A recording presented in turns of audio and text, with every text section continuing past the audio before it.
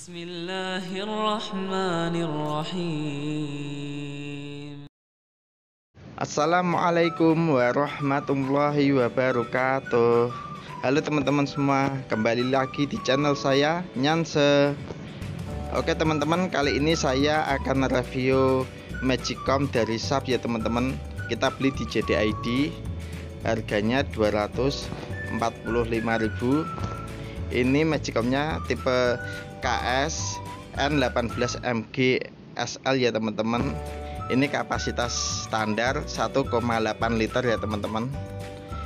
Ini untuk dayanya daya masak 400 watt dan daya pemanas itu 60 watt teman-teman.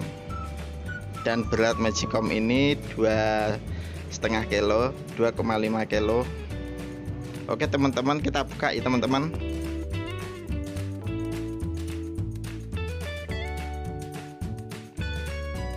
Oke teman-teman ini plastik sudah kita buka. Sekarang kita cek dalam kardusnya.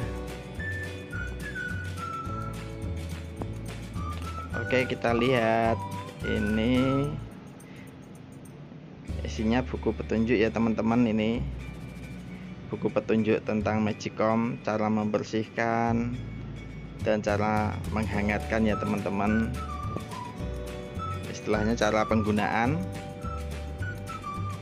dan ini kartu garansi ya teman-teman.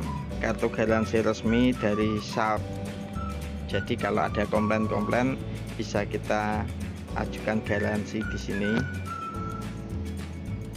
Oke sekarang kita ambil ini magicomnya teman-teman. Dadah ini magicomnya warna abu-abu.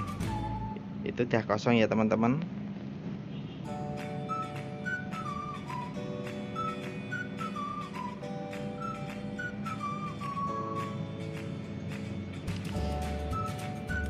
ini kenapa saya pilih abu-abu? Karena terlihat elegan ya teman-teman. Soalnya coraknya polos. Nggak terlalu full warna. Ini ada dua tombol ya teman-teman. Buat menghangatkan dan memasak nasi. Ini tonjolannya. Bisa diambil.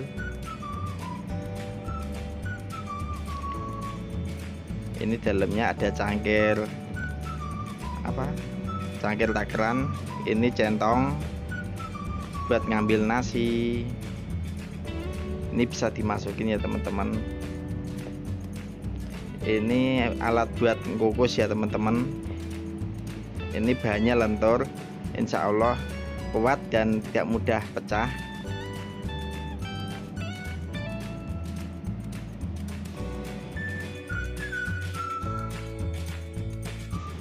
ini penampakan dalamnya ya teman-teman. Ini kapasitasnya 1,8 liter. Ini kita cek bagian dalamnya di bawah potnya. Ini bagian atas seperti itu teman-teman. Polos sekarang kita cek tonggolannya teman-teman. Ini bisa dilepas. Simple bisa dibersihkan ya teman-teman.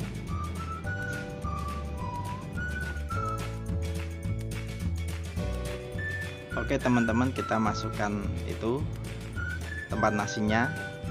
Habis ini kita akan coba ya teman-teman. Kita akan cek. Semoga nggak masalah teman-teman bisa berjalan dengan baik bisa nyala. Oh ya teman-teman sebagai info ini tombol bawah ini untuk pemanas ya teman-teman. Kalau atas itu buat memasak nasi kup. Jadi kita pencet tombol bawah. Nanti yang nyala yang warm ya teman-teman. Kalau kita pencet atas itu untuk memasak. Nanti yang nyala lampu kiri yang kup. Oke teman-teman berhubung ini sudah berhasil sudah bisa nyala saya pamit dulu ya. Assalamualaikum warahmatullahi wabarakatuh